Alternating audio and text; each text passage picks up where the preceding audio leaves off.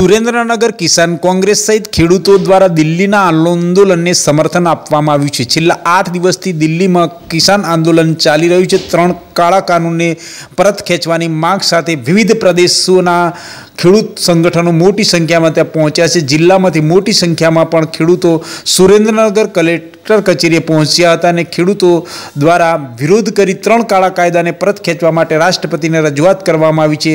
વધુમાં ગુજરાતના ખેડૂતો પણ હવે જોડાવા જઈ રહ્યા છે. કિસાન આંદોલનને સમર્થન આપી રહ્યા છે. સુરેન્દ્રનગર કિસાન કોંગ્રેસ સમિતિ દ્વારા દિલ્હીના ખેડૂતોને સમર્થન કરતા આગામી સમયમાં આંદોલનમાં ભાગ લેવાની પણ ચીમકી ઉચ્ચારવામાં આવી છે. એટલે કે હવે આ આંદોલન વધુને વધુ ઉગ્ર સ્વરૂપ ધારણ કરી રહ્યું છે અને કાયદા પરત ખેંચવાની માંગ કરવામાં આવી છે. કાળા કાયદા પરત ખેંચવાની માંગ સાથે કિસાનો દિલ્હીના બોર્ડર પર બેઠા છે અને ચારે તરફ દિલ્હીની બોર્ડરો હાલમાં રોકાયેલી છે ખેડૂતોને પોલીસનો પણ ચુસ્ત બંદોબસ્ત ગોઠવી દેવામાં આવ્યો છે. એસઆરપી અને મિલિટરીની ટીમો પણ ત્યાં તૈનાત કરી દેવામાં આવી છે. એક તરફ સરકાર છે અને બીજી તરફ ખેડૂતો છે. એટલે કે એક બોર્ડર પર એક તરફ જવાનો જોવા મળી રહ્યા છે અને બીજી તરફ કિસાનો જોવા મળી રહ્યા છે. આમ આંદોલન હવે વધુને વધુ ઉગ્ર બની રહ્યું છે.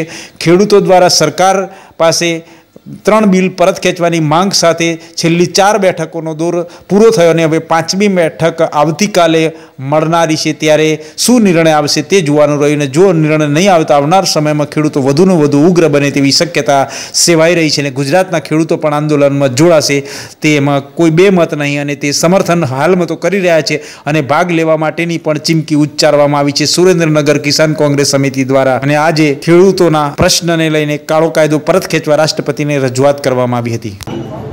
જે આંદોલન કરી રહ્યા છે ખેતી બિલ કેન્દ્ર સરકારે. એના વિરુદ્ધમાં આપણા પંજાબના અને હરિયાણાના રાજસ્થાનના ખેડૂતો દિલ્હી એની રજૂઆત કરે છે આંદોલન કરી રહ્યા છે.